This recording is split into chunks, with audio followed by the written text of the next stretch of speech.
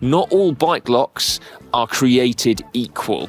I don't think there's much that could withstand a determined angle grinder wielding thief, but I also don't think that you will regret spending money on a decent lock.